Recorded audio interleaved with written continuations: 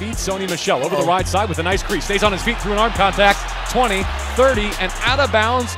Sony Michel on a week in which the Rams pretty much told you that they were going to get physical and come after you with their running game.